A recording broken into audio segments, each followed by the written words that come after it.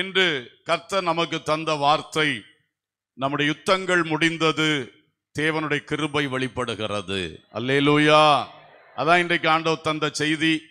ரெண்டு வேத பகுதியை தேவன் நினைப்பூட்டினார். அதை வைத்து நான் உங்களுக்கு அதை சொல்லும்படியாக விரும்புகிறேன்.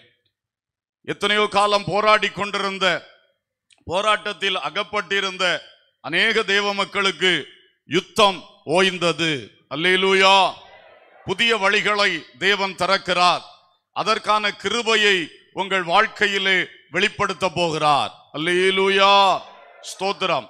முதலாவதாக ஆதியாகம புஸ்தகம் ஒன்பதாவது அதிகாரம். அதோடைய எட்டாவது வசனம் முதல் தொடர்ந்து பதினேழாம் வசனம் வரைக்கும் வாசிக்கும் பொழுது நோவாவோடு பேழையிலிருந்து வெளியே வந்த நோவா குடும்பத்தோடு கர்த்தர் செய்ததான உடன்படிக்கையை பற்றி நாம் பார்க்கிறோம். அந்த உடன்படிக்கையிலே ஆண்டவர் ஒரு காரியத்தை சொல்லுகிறார். பதிமூன்றாம் பனிரெண்டு பதிமூன்று. அன்றியும் தேவன் எனக்கும் உங்களுக்கும் உங்களிடத்தில் இருக்கும் சகல ஜீவ ஜந்துக்களுக்கும் நித்திய தலைமுறைகளுக்கென்று நான் செய்கிற உடன்படிக்கையின் அடையாளமாக நான் என் வில்லை மேகத்தில் வைத்தேன். அல்லேலூயா. அது எனக்கும் பூமிக்கும் உண்டான உடன்படிக்கைக்கு அடையாளமாயிருக்கும். நான் பூமிக்கு மேலாய் மேகத்தை வருவிக்கும் போது அந்த வில் மேகத்தில் தோன்றும். அப்பொழுது எல்லா மாம்ச ஜீவன்களையும் அழிக்க இனி ஜலமானது பிரளயமாய் பெருகாதபடிக்கு எனக்கும் உங்களுக்கும் மாம்சமான சகல ஜீவ ஜந்துக்களுக்கும் உண்டான என் உடன்படிக்கையை நினைவு கூறுவேன் அந்த வில் மேகத்தில் தோன்றும் போது தேவனுக்கும் பூமியின் மேல் உள்ள சகலவித மாம்ச ஜீவன்களுக்கும் உண்டான நித்திய உடன்படிக்கையை நான் நினைவு கூறும்படி அதை நோக்கி பார்ப்பேன். இது எனக்கும் பூமியின் மேலுள்ள மாம்சமான யாவுக்கும் நான் ஏற்படுத்தின உடன்படிக்கையின் அடையாளம் என்று நோவாவோடே சொன்னார். ஒரு பலமான அல்லேலூயா சொல்லுவோம். நோவா ஒரு பெரிய நெருக்கடி பேழையின் வாழ்வுக்குள் இருந்து வெளியே வந்து புதிய பூமியிலே நிற்கிறார். பலி செலுத்தி தேவனை தொழுது கொள்ளுகிறார். அப்பொழுது தேவன் அவரோடு கூட முழு மனுக்குலத்திற்காக ஒரு உடன்படிக்கையை செய்கிறார். அந்த உடன்படிக்கைக்கு அடையாளம் வான வில் என்று சொல்லுகிறார். இனி மேகம் வரும்பொழுது அந்த வில் வரும் தோன்றும். அப்பொழுது நான் பரலோகத்திலிருந்து அதை பார்ப்பேன். மனுஷனே நீயும் பார்ப்பாய். ரெண்டு பேரும் நினைவு கூற வேண்டியது என்ன? கர்த்தர் ஒரு பெரிய அழிவு கொடுத்தார் தண்டனை கொடுத்தார். இனி அப்படி ஒன்று செய்ய மாட்டேன் கிருபையா இருப்பேன் என்று சொல்லி இருக்கிறார். அல்லேலூயா! ஸ்தோத்திரம். ஆகவே அன்பான தேவ பிள்ளைகளே அன்றைக்கு இருந்த முழு மனுக்குலத்தையும் ஜலப்பிரளயத்தினாலே கர்த்தர் அழித்தார் என்கிற சரித்திரத்தை நாம் அறிந்திருக்கிறோம். ஏனென்றால் பூமியிலே அக்கிரமம் பெருகினது. மனிதனுடைய இருதயத்தின் நினைவுகளின் தோற்றமெல்லாம் நித்தமும் பொல்லாததே என்று கர்த்தர் கண்டு மனம் கசந்தார். ஆகவே தான் அந்த முடிவுக்குள் அவர் வந்தார். மனுஷர் அக்கிரமத்தில் வாழுகிறார்கள். தேவன் வைத்த ஒவ்வொரு கிரமத்தையும் ஒழுங்கையும் உடைத்து எறிகிறார்கள். குடும்ப ஒழுங்குகளை உடைத்து எறிகிறார்கள். சமுதாய ஒழுங்குகளை உடைத்து எறிகிறார்கள். தேசத்தின் ஒழுங்குகளை உடைத்து எறிகிறார்கள். தனிநபர் நல்லொழுக்கத்தின் ஒழுங்குகளை உடைத்து எறிகிறார்கள். சிந்தனையில் தாறுமாறுகள் உணர்ச்சியில் கட்டுக்கடங்காத கிரியைகள் பேச்சு சரியில்லை ஒன்று முறையில்லை வாழ்க்கை முறையே சரியில்லை அணுகுமுறை சரியில்லை பழகுமுறை சரியில்லை என்று மனித வாழ்க்கை முழுவதும் கெட்டு போய் கிடக்கிறது. எல்லாரும் கெட்டு போறதுனால அரசாங்கங்களும் மெஜாரிட்டி எந்த பக்கமோ அரசாங்கம் அந்த பக்கம்தான். மெஜாரிட்டி என்ன சொல்லுதோ அதுதான் சட்டம்.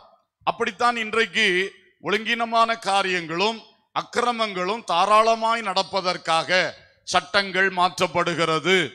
எல்லாம் ஆண்டவருக்கு எதிரான காரியங்களாக மனுஷன் செய்து கொண்டே இருக்கிறான். இது போலத்தான் அன்றைக்கு நோவா காலத்தில் இருந்தது. அப்பொழுதுதான் கர்த்தர் கடும் கோபம் கொண்டார். அவர் பார்க்கிறார் மனுஷன் பொல்லாதவனா இருக்கிறான்.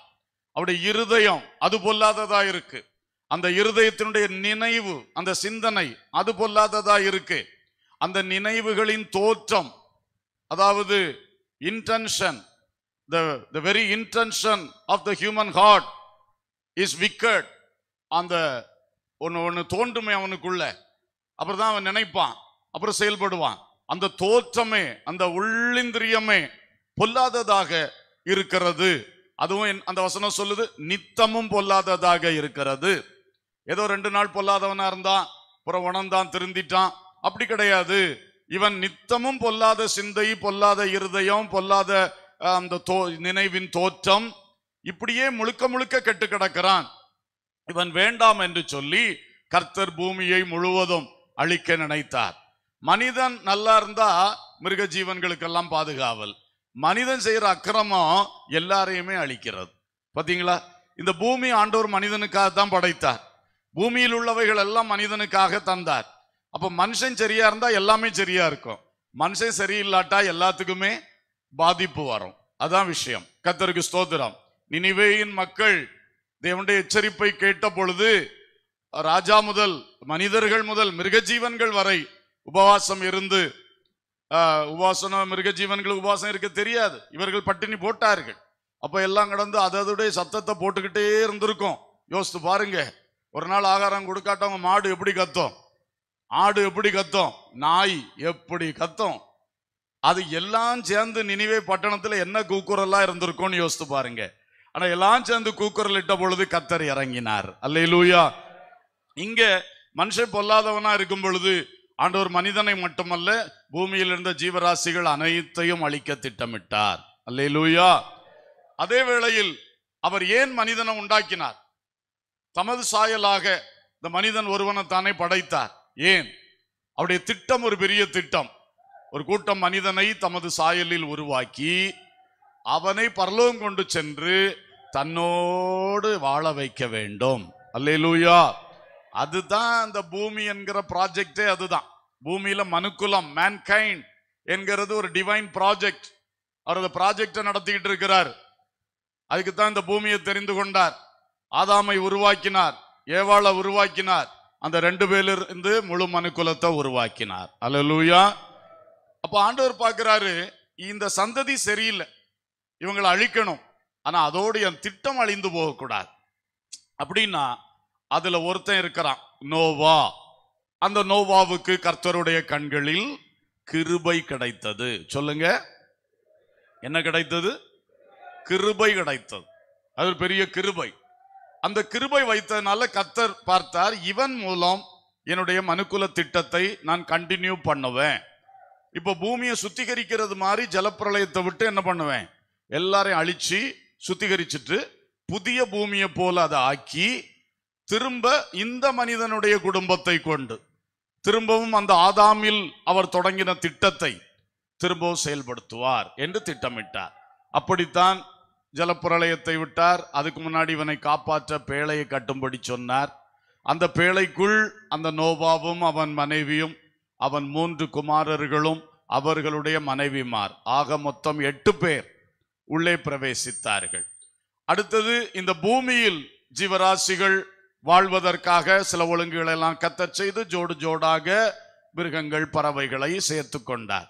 இப்படி எல்லாமாக வாழும் பொழுது தேவ கோபம் உலகத்தை அழிக்கிறது மனுக்குலத்தை அழிக்கிறது கோபம் பற்றி எரிகிறது. அந்த கோபத்தின் நடுவிலே ஒரு கிருபை அதான் பேழை.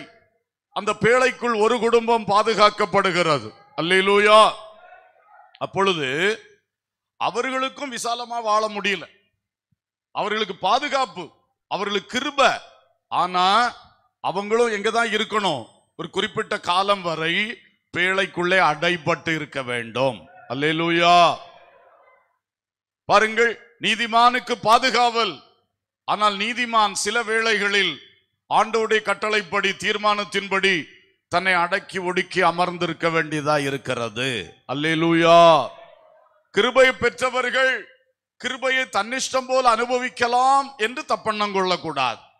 அது கிருபையை பெற்றவர்கள் அந்த கிருபைக்குள் தன் கைகளையும் கால்களையும் கண்களையும் வாயையும் செவியும் எல்லாம் அடக்கி ஒடுக்கி இருக்கணும். அல்லேலூயா!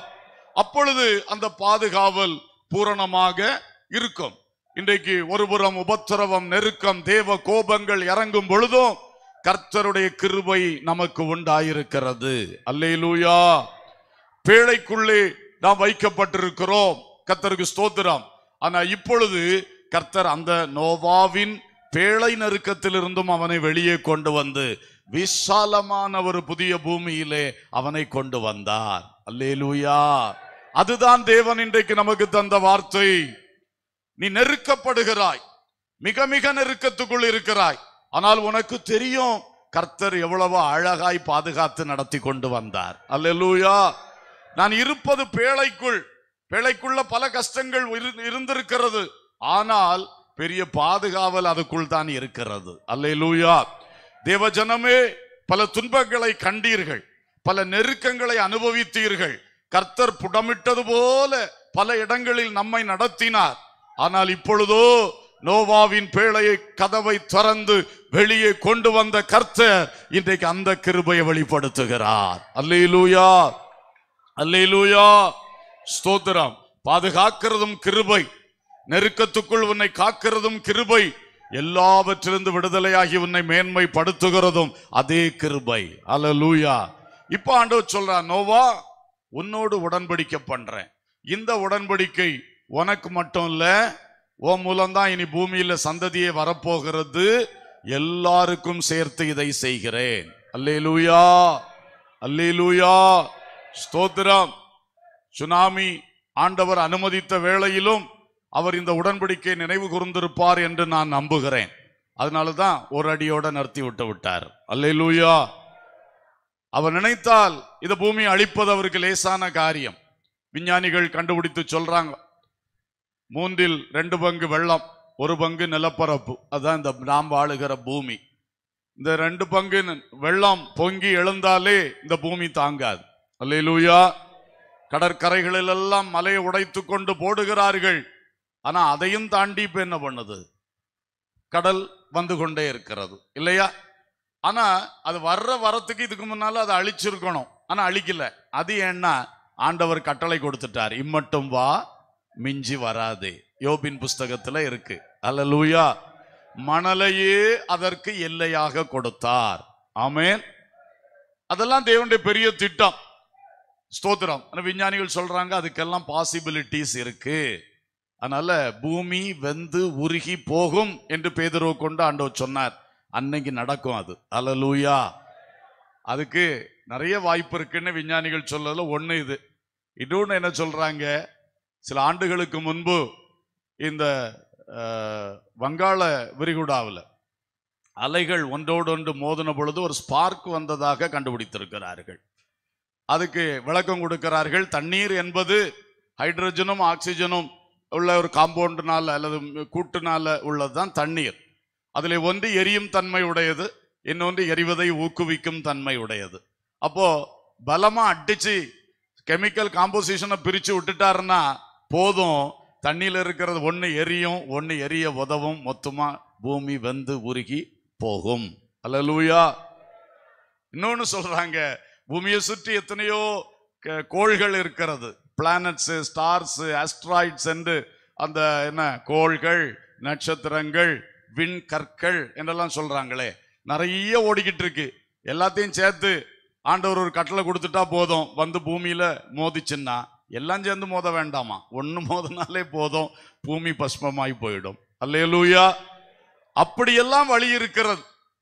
ஆனா ஆண்டவர் என்ன பண்ணாருன்னா ஒரு அடி அப்படி ஜலப்பிரளயத்தை விட்டு அவர் கிளீன் பண்ணிடலான்னு நினச்சார் அவ்வளோதான் அல்ல இல்லையா இந்த பூமியை ஒருக்கா என்ன பண்ணிடுவோம் க்ளீன் பண்ணிடுவோம் நம்ம சில வேளை சர்ச்சில் விருந்து நடத்தினா விருந்து முடிச்சோன்னு நம்ம ஆட்கள்லாம் நின்று சர்ச்சை அப்படி க்ளீன் பண்ணிடுவார்கள் இது மாதிரி தான் கர்த்தர் உலகத்தை அன்னைக்கு என்ன பண்ணாரு? க்ளீன் பண்ணார். அது எவ்வளவு பயங்கரமாக இருந்தது. இப்படி கர்த்தர் செய்து ஒரு பயத்தை மனுஷனுக்கு உண்டு பண்ணினார். ஆனால் அதோடு கூட உனக்கு ஒரு உடன்படிக்கையை நான் தந்திருக்கேன். இனி இந்த மாதிரி ஃபுல்லா நான் இப்போ அழிக்க மாட்டேன். இனி ஜன ஜ- ஜனங்களுடைய அல்லது மனித வம்சத்தினுடைய வரலாறு எல்லாம் அந்த திட்டமெல்லாம் முடிஞ்சு ஆண்டவர் கடைசியில அஹ், வெள்ளை சிங்காசனத்துல உட்கார்ந்து நியாய தீர்ப்பு கொடுத்து அப்புறம்தான் இந்த பூமியும் வானத்தையும் என்ன செய்வாராம்? அழிப்பார். அல்லேலூயா. ஆகவே உன் வாழ்வில் வந்த பயங்கரம் திகில். நீ எதிர்பாராத இதுவரை அனுபவித்திராத அந்த பயங்கரமான பாதை இன்றோடு முடிந்து விட்டது மகனே. இனி உனக்கு விடுதலை. அல்லேலூயா. இந்த நோவாவோடு ஆண்டவர் சொன்ன இந்த வானவில்லை வைத்து சொன்ன காரியத்தில் நாம் பார்க்கிறது இனி பூமி முழுவதையும் அழிக்க ஜலப்பிரளயம் வராது. ஸ்தோத்திரம். அது ஒன்று. ரெண்டாவது இந்த பயங்கரமான தேவ கோபம் முடிந்தது. அல்லேலூயா. பயங்கரமான முழு மனுஷனை அழிக்கிற தேவ கோபம் இப்பொழுது முடிந்தது. இனி அக்கினி கடல்ல தான் அது காட்டப்படும். அலலூயா அது வரைக்கும் அது இனி இப்படி வெளிப்படுவது இல்லை என்கிற ஒரு காரியத்தை சொன்னார். தண்டனை முடிந்தது. நோவா உனக்கும் ஒரு நெருக்கம் தான். பேழைக்குள்ள இருந்தார். ஆனா அந்த ஜனங்களுக்கெல்லாம் ஒரு பெரிய தண்டனை. எல்லாமே அழிஞ்சு போனார்கள். இப்பொழுது எல்லாம் முடிந்து முடிந்து விட்டது.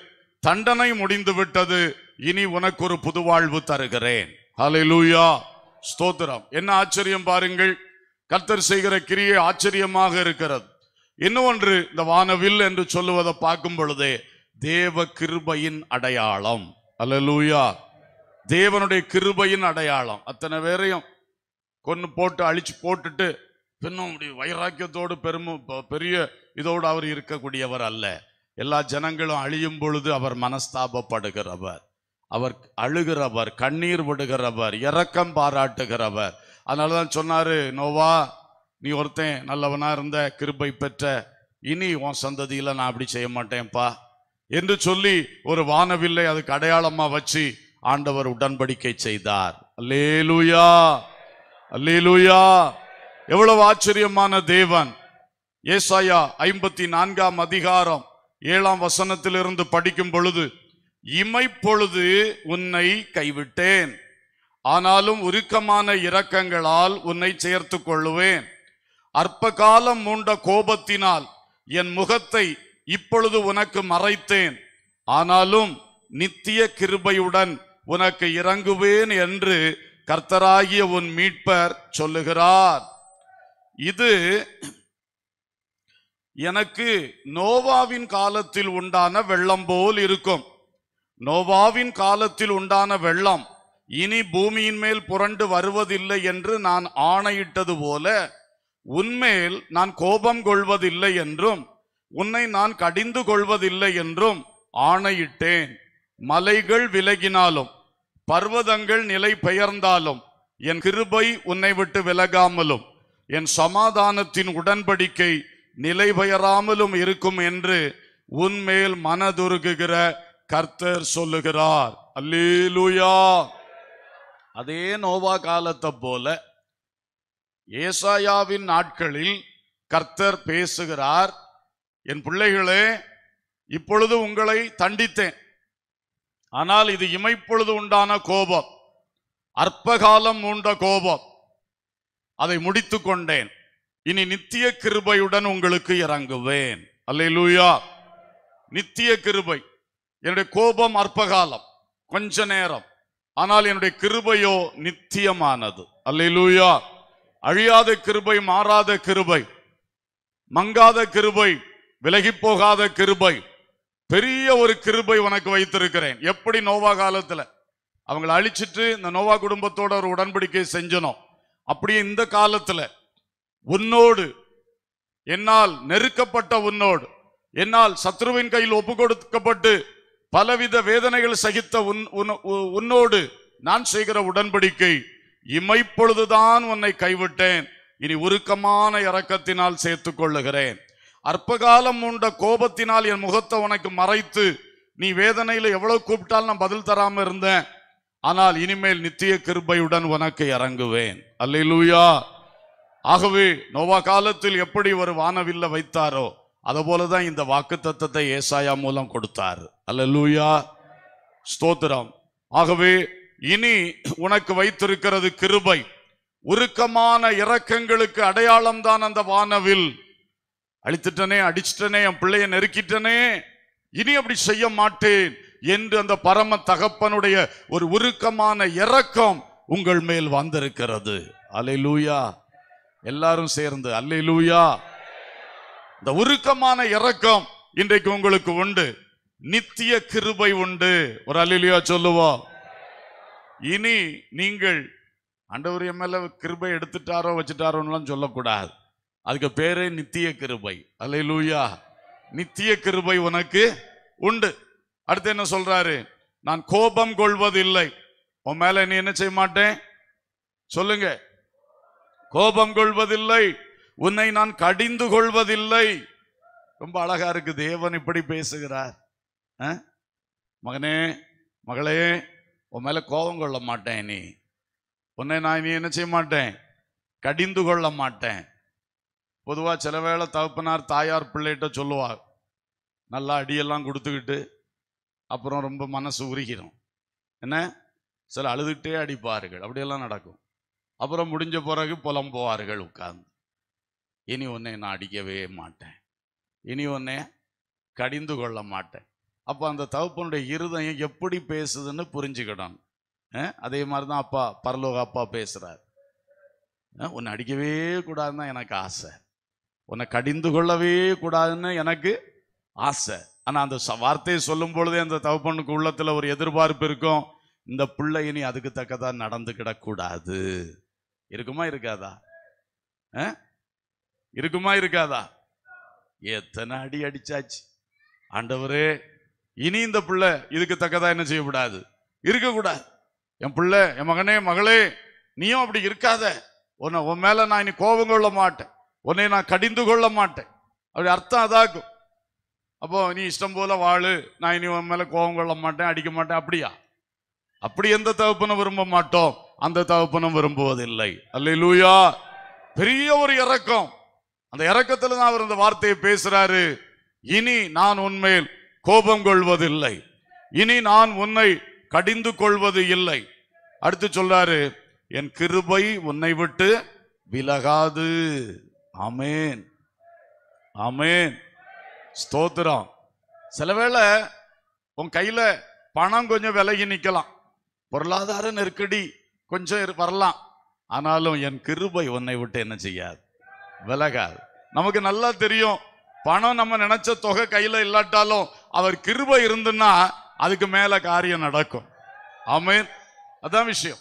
என் கிருபை உன்னை விட்டு விலகாது. பவுல் ஜோம் பண்ணார் எனக்கு சரீரத்தில் ரொம்ப கஷ்டமா இருக்கு ஆண்டவர்.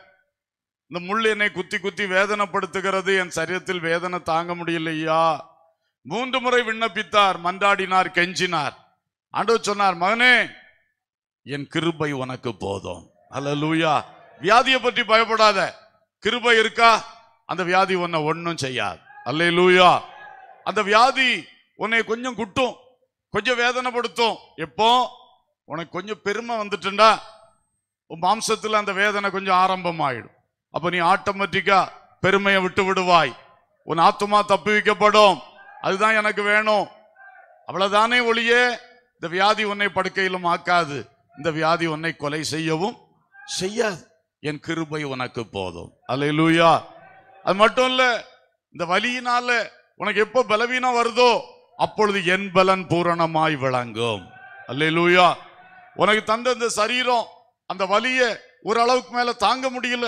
தாங்க முடியாத நேரம் வரும் பொழுது உன் பலவீனத்தில் என் பலன் பூரணமாய் விளங்கும். அல்லேலூயா இதுதான் அந்த வார்த்தை. இதுதான் அந்த வார்த்தை.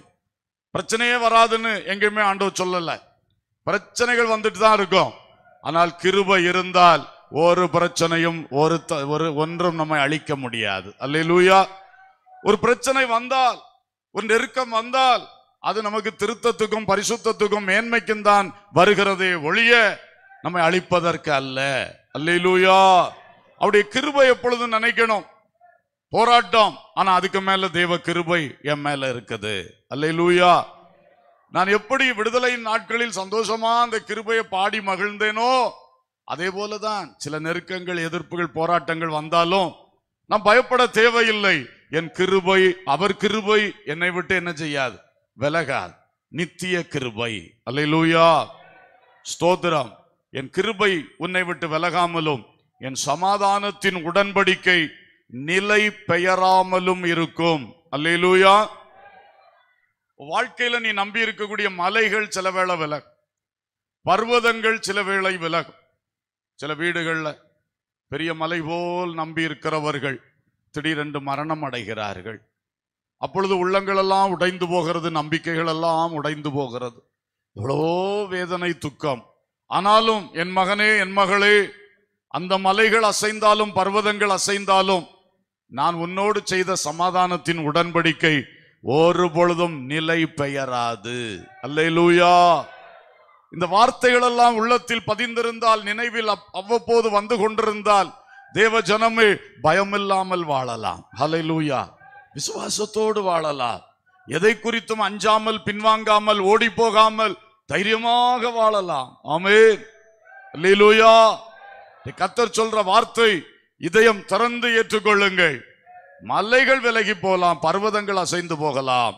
ஆனால் என் கிருபை உன்னை விட்டு விலகாது. என் சமாதானத்தின் உடன்படிக்கை நிலை பெயராது இருக்கும் என்று உன்மேல் மனதுருகுகிற கர்த்தர் சொல்லுகிறார். அல்லேலூயா.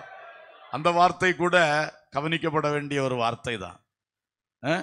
உன் தகுதிக்கு பரிசளிக்கும் கர்த்தர் சொல்லுகிறார்னு சொல்லல. ஓ திறமையை பாராட்டும் கர்த்தர் சொல்லுகிறார்னு சொல்லல. ஏன் இந்த உடன்படிக்கை நான் பண்ணியிருக்கிறேன்? நீ பாவம். உன் மேல எனக்கு ஒரு இறக்கமா தோணுது. நீ எவ்வளவோ பாதிக்கப்பட்டுட்ட. நீ சில சூழ்நிலைகள்ல ஒன்னால நிக்க கூட முடியல. தள்ளாடுகிற. இதெல்லாம் பார்த்து உன் மேல மனதுருகிதான் உனக்கு இந்த உடன்படிக்கையை செய்தேன். அல்லையிலூயா மற்றபடி உன் திறமையோ தாளந்தோ தகுதியோ பார்த்து அல்ல. நீ என்னால் தெரிந்து கொள்ளப்பட்டவன். உன்னை நான் எப்படி கைவிடுவேன்? உன்னுடைய தள்ளாட்டத்திலே நான் உன்னை விழ விடுவேனா விடமாட்டேன். அப்படி ஒரு பெரிய கிருபை தான் இந்த வார்த்தை. ஹலலூயா உண்மையில் மனதுருகிற கத்தர் சொல்றாருன்னா நம்ம பலவீனத்தை அவர் அறிந்து சொல்றார். அல்லூயா நம்முடைய உள்ளத்திலே சில திடன் இல்லை. பெரிய முழக்கம் முழங்கிட்டு அந்த பக்கம் போனோன்னே கிடுகிடா வந்துடும் எலியா தீர்க்கதரிசிக்கே அப்படிதான் அப்புறம் நம்மளெல்லாம் என்ன சொல்லுது? என்ன? எலியா தீர்க்கதரிசி கர்மேல் மேடையில் முழங்கின முழக்கம் செய்த கிரியைகள். என்ன பயங்கரம்? அடுத்தது அந்த ஏசபேல் என்னதோ சொன்னாலாம் ஓட்டம் பிடிச்சிட்டாரு ஓட்டம். எதுக்கு ஐயா இந்த ஓட்டம்? அதான் மனுஷன். ஆனா கத்தரவரை கைவிட்டாரா? அக்கினி ரதம் அனுப்பி மேல கூட்டிட்டு போனாரு. அல்லையிலூயா ஸ்தோத்திரம். நம்முடைய பலவீனத்தை எப்பொழுதும் அறிந்திருக்கிற நம்முடைய தேவன் அவர். அல்லேலூயா.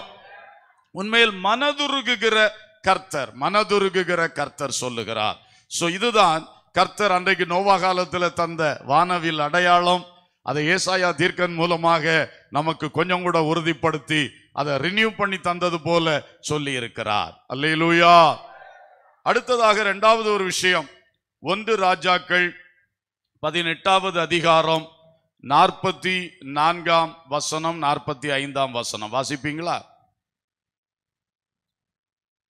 ஏழாம் தரம் இவன் இதோ சமுத்திரத்திலிருந்து ஒரு மனுஷனுடைய உள்ளங்கை அத்தனை சிறிய மேகம் எழும்புகிறது என்றான். அப்பொழுது ஏழாம் தரம் இவன் இதோ சமுத்திரத்திலிருந்து ஒரு மனுஷனுடைய உள்ளங்கை உள்ளங்கை அத்தனை சிறிய மேகம் எழும்புகிறது சிறிய மேகம் எழும்புகிறது என்றான். போதும். உங்களுக்கு தெரிந்த சம்பவம் தானே? எலியா தீர்க்கதரிசி கர்மேல் மலையிலே அக்கினி இறக்கி எல்லா வாய்களும் கர்த்தரே தெய்வம் கர்த்தரே தெய்வம் என்று அறிக்கையிட பண்ணினார். அடுத்து அப்படியே அதோட உச்சிக்கு போறார் சிகரத்துக்கு போகிறார். சிகரத்துக்கு போய் தன்னுடைய முழங்கால்களுக்குள் தன்னுடைய முகத்தை புகுத்தி வைக்கிற அளவுக்கு தன்னை வருத்தி ஜெபம் பண்ணுகிறார். ஜோம் பண்ணும் பொழுது வேலைக்காரன் சொல்றாரு நீ அங்க போய் பாரு. வானத்துல ஏதாவது தெரியுதா? அடையாளம் தெரியுதா? பாரு.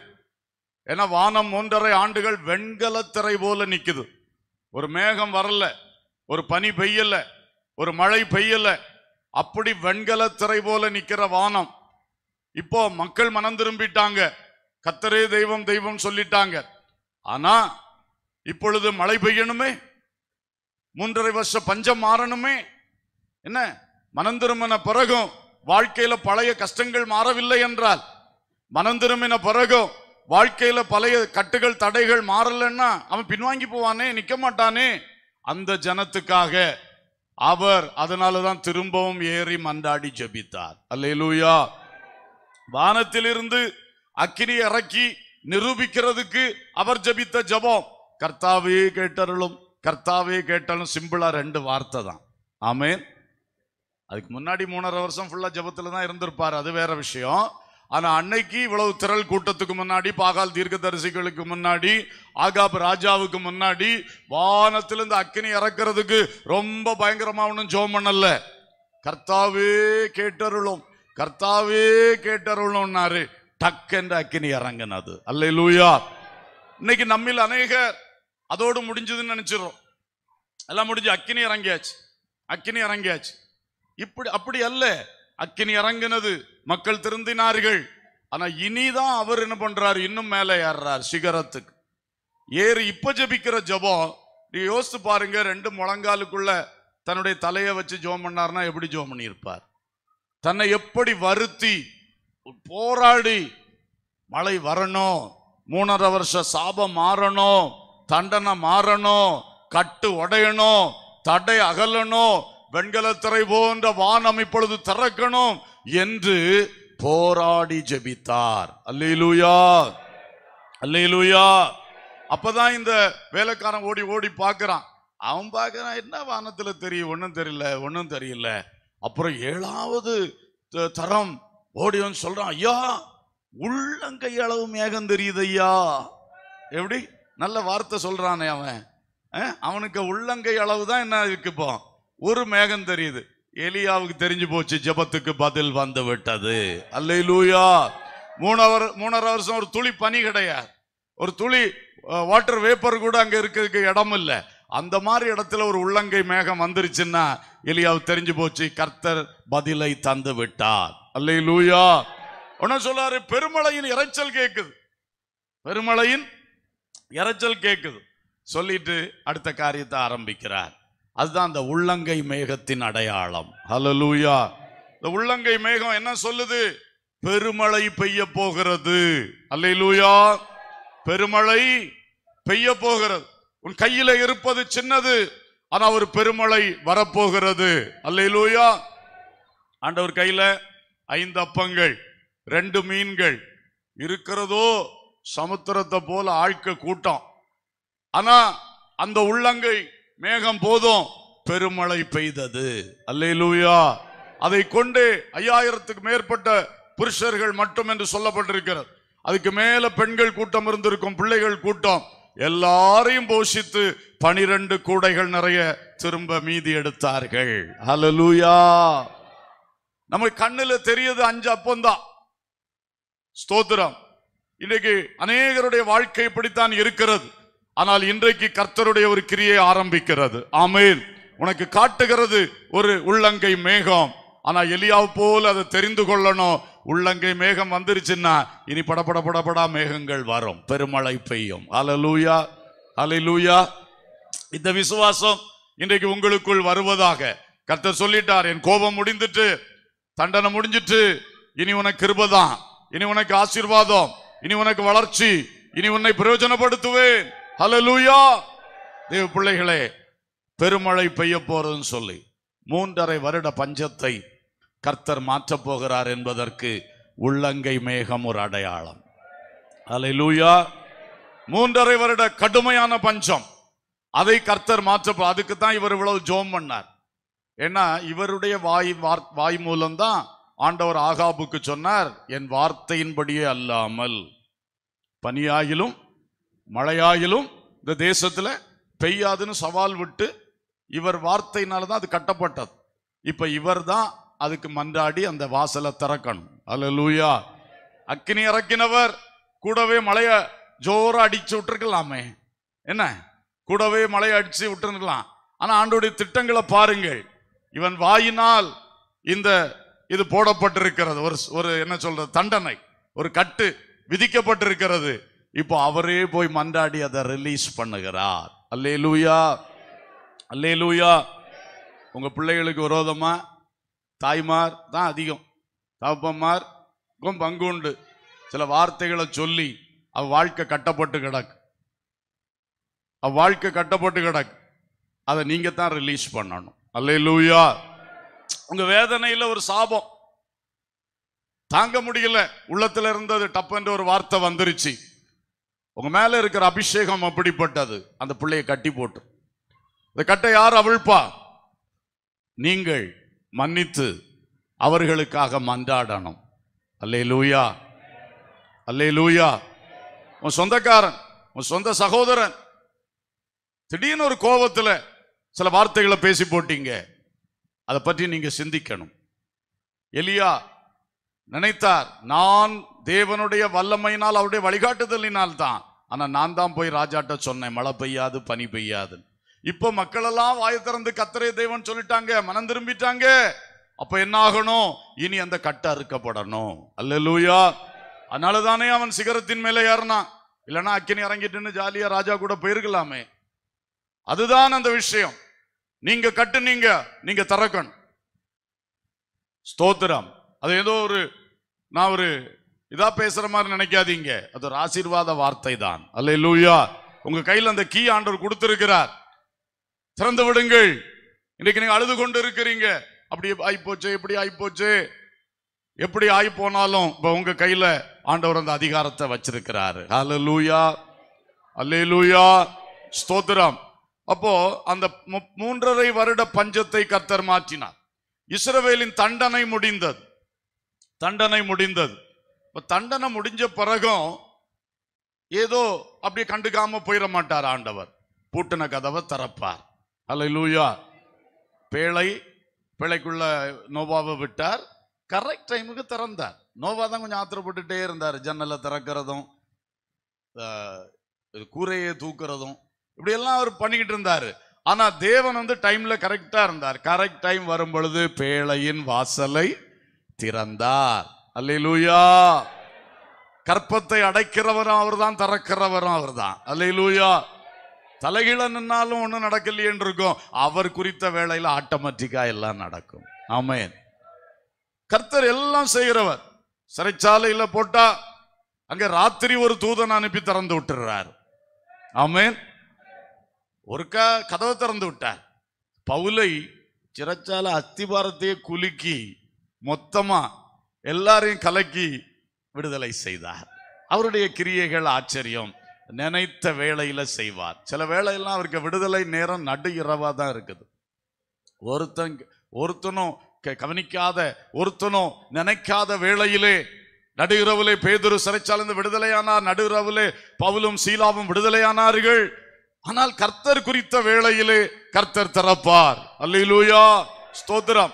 அதனால தேவ பிள்ளைகளே நான் பாவம் செய்தேன். அதனால எனக்கு இந்த பாதிப்பெல்லாம் வந்துச்சு.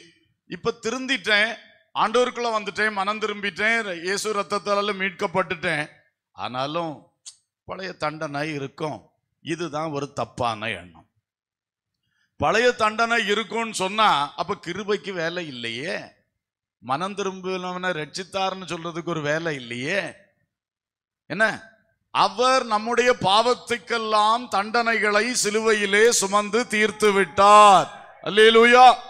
அப்போ இனி நம்ம பாவத்தை மட்டும் மன்னிச்சு விட்டுக்கிட்டு அதுக்குள்ள தண்டனை நீ திரும்ப நீ அனுபவிக்கணும்னு சொல்லுவாரா?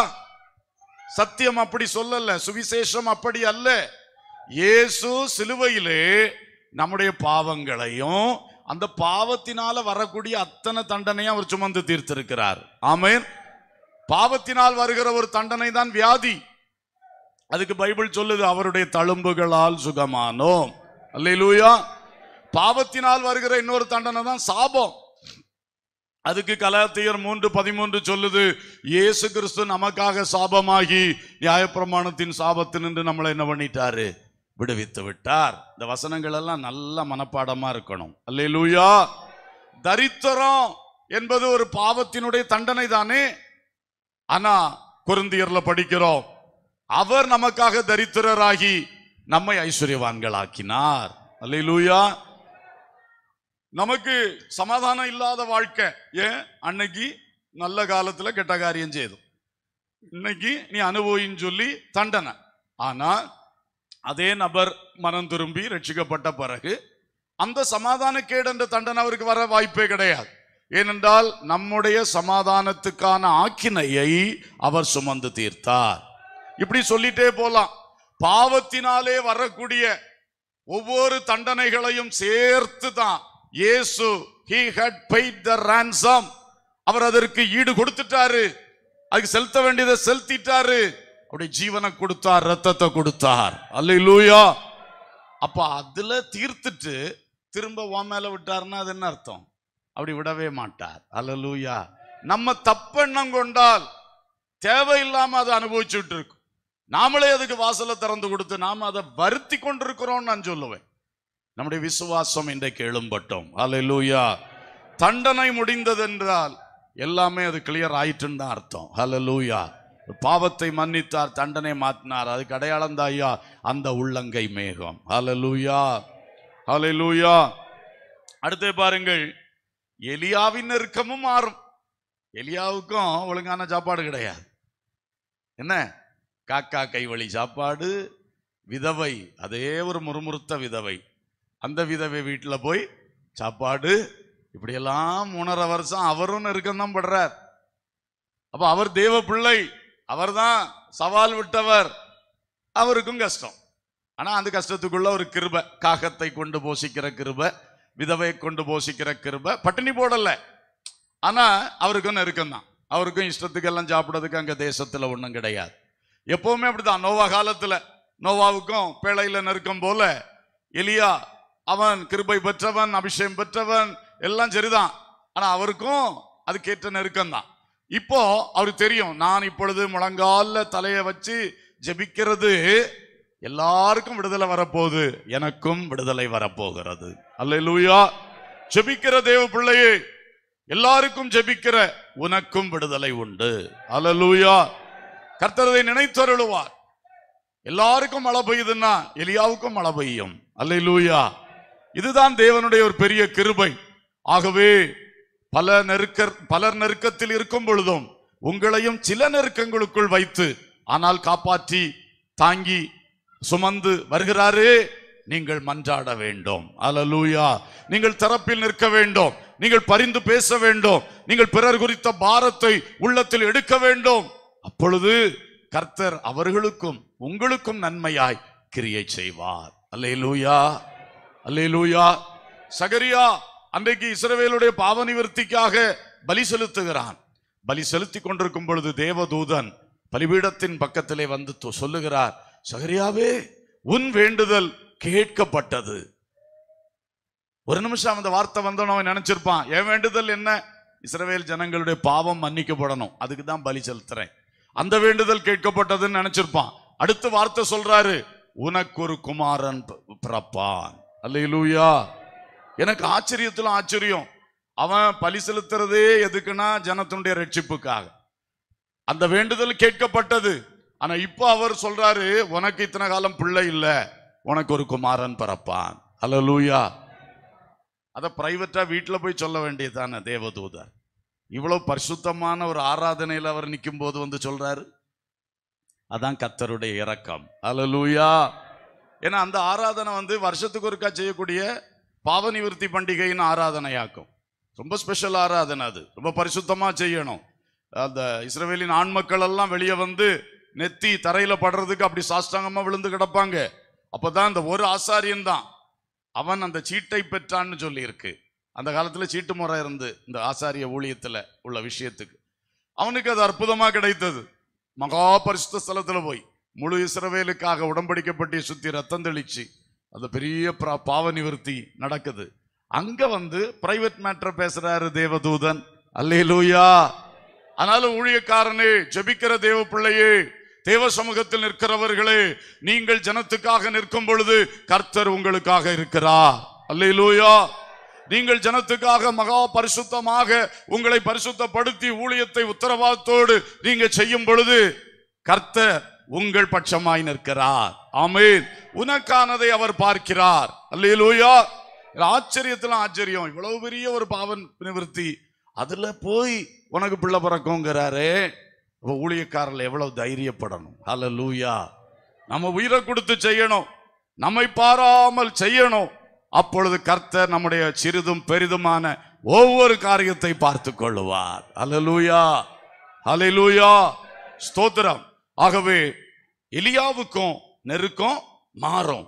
கடைசியா கர்த்தரே தெய்வம் கர்த்தரே தெய்வம் என்று மறந்திரும்பின அத்தனை பேருக்கும் மனம் திரும்புதலுக்கான நல்ல பரிசை கர்த்தர் கொடுக்கிறார். அதுக்கு அடையாளம்தான் இந்த உள்ளங்கை மேகம். அல்லேலூயா. ஸ்தோத்திரம். கத்தரே தெய்வம் கத்தரே தெய்வம்னு சொன்னான். திரும்பியும் வீட்டில் போய் சாப்பாடு இல்லைன்னா என்ன செய்வான்? திரும்பவும் நெருக்கம். புல்லு வளரல. விவசாயம் செழிக்கல. ஒன்றும் இல்லைன்னா என்ன செய்வான்? அப்போதான் ஆண்டவர் இதை காட்டுறாரு. உள்ளங்கை மேகம் வந்தோடனே இந்த அத்தனை பிரச்சனைக்கும் அது ஒரு பரிகாரமாக மாறிடுச்சு. ரிசல்ட் வந்துட்டு. ஹலோ லூயா இனி மழை இனி மழை. அப்போ பெரிய சந்தோஷம். எலியாவுக்கும் சந்தோஷம். அவன் வார்த்தையின்படி கட்டினா இவன் சபிக்கிற தீர்க்கதரிசி மட்டும் இல்ல இவனே சாபத்தை முறிக்கிற தீர்க்கதரிசி. அல லூயா அவன் கடிந்து கொள்ளுகிறவன் மட்டும் இல்ல அவன் அணைக்கிறவன். அதான் ஒரு ஊழியக்காரனுக்கு அழகு. அதான் ஒரு தேவ பிள்ளைக்கு அழகு. எனக்கு அடிக்க மட்டும்தான் தெரியும். அப்ப எல்லாம் சிதறுண்டு போ. எல்லாம் காயப்பட்டு போ. அடிக்கிற உனக்கு அணைக்க தெரியணும். ஹாலை லூயா தீர்க்க தரிசனத்தால் அடிக்கிறாயா? தேவ வார்த்தையினால் அடிக்கிறாயா? கர்த்தரே பயன்படுத்துறார். எலியா சும்மா தானா போய் அடிக்கல. கர்த்தர் சொல்லித்தான் ஆனாலும் அதே எலியாவுக்கு தான் இன்னொரு வேலை இருக்கு. இங்க அடிச்சா வீட்டில் போய் அந்த ஜனத்துக்காய் கண்ணீர் விடு. அழு. ஆண்டோர் பாதத்தில் மன்றாடு. அல்லையிலூயா அவன் அக்கிரமம் செய்கிறான் அவன்கிட்ட போய் கடினமாக தான் பேசணும். அவனை தப்ப சொல்லணும். ஆனால் வீட்டில் போய் அவனுக்கா மனங்க சொந்த ஆளானும் அதாங்க நம்ம நம்ம தன்மையும் புத்தியுமா இருக்கணும். ஆமேன். ஏன்னா நம்முடைய ஆண்டவுடைய தன்மை அதுதான். ஆகவே இன்றைக்கு மனம் திரும்பின ஜனத்துக்கு உண்மையாய் கர்த்தரை பின்பற்றுகிற பிள்ளைகளுக்கு பழைய பாவம் இல்லை பழைய பாவத்தின் தண்டனையும் இல்லை. ஸ்ட்ராங்கா சொல்லுங்க. பழைய பாவம் இல்லை பழைய பாவத்தின் தண்டனையும் இல்லை. இனி பாவம் செய்யாது. அதுவும் பாயிண்ட் டு பி நோட்டட் இனி பாவம் செய்யாதே. கர்த்தரோடு நட கர்த்தருக்காக இரு. இன்று உன் யுத்தம் முடிந்து போயிற்று. இன்று உனக்கு விடுதலை. எல்லாரும் கண்களை மூடி கர்த்தரை நாம் நோக்கி பார்க்கலாம். இயேசுக்கு சித்துனா இன்றோடு முடிந்தது மகனே. இயேசுக்கு சித்துனா இன்றோடு முடிந்தது மகளே. ரெக்கபோத் விட்டது. உனக்கு ரெக்கபோ தொடங்கி விட்டது. இயேசுக்கு சித்துனா விசுவாசத்தோட பாடுங்க என்னுடைய வாழ்க்கையிலே நெருக்கங்களும் போராட்டங்களும் யுத்தங்களும் இன்றோடு முடிந்தது. என் ஆண்டவர் எனக்கு வார்த்தை தந்து விட்டார் நோவா மூலம் ஏசாயா மூலம் எலியா மூலம் ஆண்டவர் எனக்கு நல்ல வார்த்தை தந்துட்டார். சொல்லுங்க. முடிந்தது மகனே. ஓ. எல்லா உள்ளங்களுக்குள் இந்த வார்த்தை கடந்து வரட்டும்.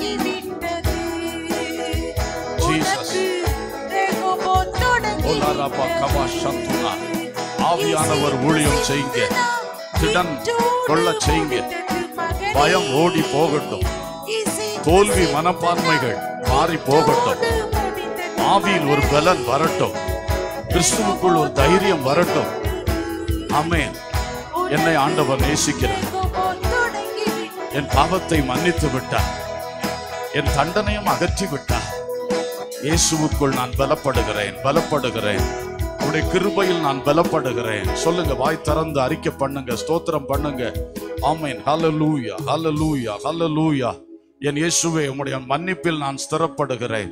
நீ தந்த மன்னிப்பிலை ஸ்திரப்படுகிறேன். ஹாலை லூயா இனி மன்னித்தாரோ மன்னிக்கலையோ என்ற ஆட்டமெல்லாம் எனக்கு கிடையாது. மன்னிப்பில் ஸ்திரப்படுகிறேன். இதே வார்த்தையை சொல்லுங்க. நான் சொல்லுகிற வார்த்தையை நீங்க சொல்லும் பொழுது உங்களுக்குள் பலன் உண்டாகும். ஹாலை லூயா இயேசு என்னை மன்னிச்சுட்டார். இயேசு என்னை மன்னித்து விட்டீர். ஆமேன். நான் ஸ்திரப்படுகிறேன். மன்னிப்பில் ஸ்திரப்படுகிறேன். நீங்க என்னை மன்னிச்சிட்டீங்க. இனி எனக்கு அதில் சந்தேகம் வர வேண்டிய அவசியமே இல்லை. ஆண்டவரே என் பாவத்தை மன்னித்தவர். தண்டனையை மாற்றி விட்டீர் சொல்லுங்க தண்டனையை மாற்றி விட்டீர் இனி தண்டனை தொடர்ந்து வந்துகிட்டே இருக்க முடியாது. அந்த தண்டனை அப்படியே முறித்து விட்டு விட்டீர். ஹalleluya ஸ்தோத்திரம். வானவில்லை காட்டி விட்டீர். உள்ளங்கை மேகத்தை காட்டி விட்டீர். இனி தண்டனை தொடர முடியாது வாய்ப்பே இல்லை. ஸ்தோத்திரம். என் மனசுல அதை போட்டு இழுத்துக்கிட்டு வரமாட்டேன். நான் அதை கட் பண்ணி விட்டுறேன். இனி எனக்கு தண்டனை இல்லை. எத்தனை பேர் ஆவியில வைராக்கியமா? இந்த வார்த்தையை அப்படியே சொல்லுங்க சொல்லுங்க சொல்லுங்க. உங்கள சிலருக்கு இதுதான் பெரிய பிரச்சனையா இருக்கு. ஆண்டவர் விட்டாலும் நீங்க பிடிச்சு இழுத்துட்டு வர்றீங்க. விட்டுருங்க. தண்டனை இல்ல தண்டனை இல்ல. நான் இனி பாவியும் இல்ல. நான் இனி தண்டிக்கப்பட்டு கொண்டு இருக்கிற ஆளும் இல்ல. இயேசு என்னை மன்னித்தார். இயேசு என் தண்டனையை மாற்றினார். என் மேல் ஒரு நித்திய கிருபையை வைத்தார். விலகாத கிருபையை வைத்தார். மனதுருகி ஒரு கிருபை ஆண்டவர் என் மேல வச்சிருக்கிறார். அது என் வாழ்க்கையில இனி என்றைக்கும் இருக்கும். என் குடும்ப வாழ்க்கையில இருக்கும் என் தொழில வேலையில இருக்கும். என் சரீரபுரகான வாழ் வாழ்க்கையில என் இறுதி மூச்சு வர இயேசுவின் கிருபை என் மேல் இருக்கும். கிருபையை விளக்க மாட்டார் கிருபையை விளக்க மாட்டார். ஓ க்ளோரி ஹalleluya கரங்களை தட்டி கத்திர ஸ்தோத்திரம் பண்ணுவோமா? எத்தனை பேர் இதை சுவீகரித்து ஏற்றுக்கொண்டீர்கள்? உங்களுக்குள் அது வேலை செய்யும். ஸ்தோத்திரம். யுத்தம் முடிந்தது உனக்கு சமாதானம். யுத்தம் முடிந்தது உனக்கு ஜெயம். சுகம் பலன் ஆரோக்கியம் சந்தோஷம் சமாதானம் விடுதலை. அன்புள்ள பிதாவே நல்ல தகப்பனே அந்த வானவில் ஒரு அடையாளம். இந்த உள்ளங்கை மேகம் ஒரு அடையாளம். கோபம் தீர்ந்து விட்டது தண்டனை முடிந்து விட்டது. கிருபை புறப்பட்டு விட்டது. இனி நீ ஸ்திரப்படுவாய். இனி நீ மேன்மை அடைவாய் வாழ்நாளெல்லாம் களி கூர்ந்து மகிழ்ந்திருப்பாய். நீ சுகமா இருப்பாய் என்ற அழகான காரியத்தை தொடங்கி விட்டதற்காய் ஸ்தோத்திரம். நூற்றுக்கு நூறும் அதை நம்புகிறோம் விசுவாசிக்கிறோம். ஆம் கர்த்தாவே எங்கள் இதயங்களையும் எங்கள் விசுவாசத்தையும் அதற்கு இன்னும் பலப்படுத்தும். ஆசீர்வதியும் இந்த வார்த்தை அப்படியே அனுபவிக்க எங்களை வழிநடத்தும். சகல துதி கனம் மகிமை உமக்கே ஏறெடுக்கிறோம். இயேசுவின் நாமத்தில் கேட்கிறோம் ஜீவனுள்ள பிதாவே. ஆமேன். என் ஆத்துமாவே கத்தரை ஸ்தோத்திரி. என் முழு உள்ளமே அவருடைய பரிசுத்த நாமத்தை ஸ்தோத்திரி. என் ஆத்துமாவே கத்தரை ஸ்தோத்திரி. அவோ செய்த சகல உபகாரங்களை மறவாதே. ஆமேன். நம்முடைய கத்தராக இயேசு கிறிஸ்துவின் கிருபையும் பிதாவாகிய தேவனுடைய அன்பும் பரிசுத்த ஆவியானுடைய ஐக்கியமும் சிநேகமும் வழிநடத்தலும் பாதுகாவலும் நம் அனைவரோடும் சகல பரிசுத்தவான்களோடும் சதா காலங்களிலும் இருப்பதாக ஆமேன் தேவ கிருபை என்றும் உள்ளது அவர் கிருபை என்றும் உள்ளது அவரை போற்றி துதித்து பாடி அல்லேலூயா என்றார் பறிப்போ அவரை போற்றி துதித்து பாடி. அல்லேலூயா என்றார் பறிப்போ லேலுயா லேலுயா லேலுயா ஆமேன். யுத்தம் முடிந்தது சமாதானம் உண்டாயிற்று. ஆமேன்.